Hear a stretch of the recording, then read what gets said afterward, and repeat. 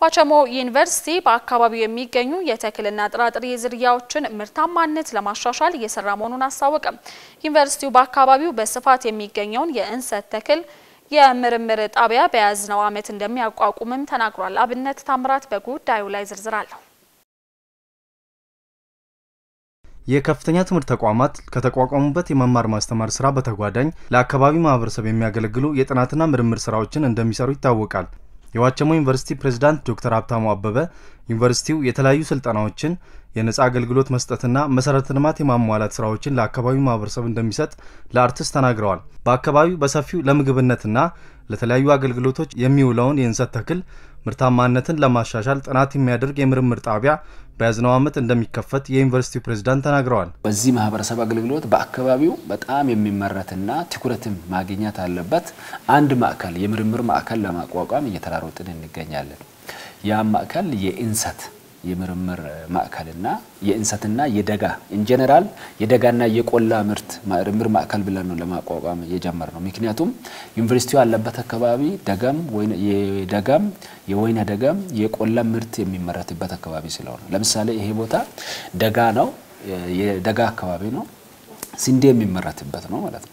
የስንዴ ምርምር ጣቢያ የአተር፣ የባቄላ፣ የገብስ ገብስም የሚመረትበት ስለሆነ እነሱንና የእንሰት በትኩረት ደግሞ እንሰት ላይ already የጀማመርናቸው ነገሮች አሉ። በሽታን መቋቋም የሚችል ብለን እንሰት ላይ ይተናል።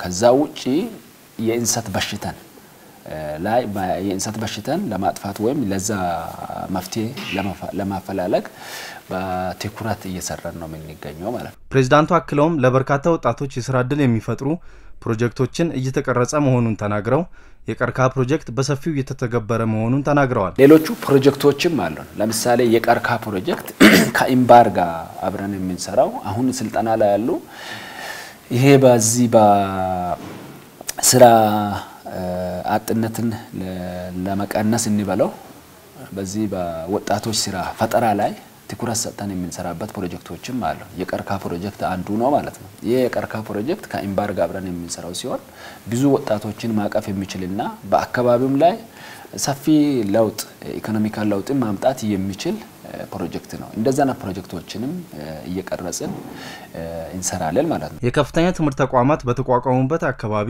የማህበረሰብ አቀፍ አገልግሎቶችን መስራታቸው በአካባቢው ለሚገኙ ወጣቶች ስራ እድል ከመፍጠሩም ባለፈ የአርሶ አደሮችን ምርትና ምርታማነት በእጅጉ እንደሚጨምርም ይታወቃል።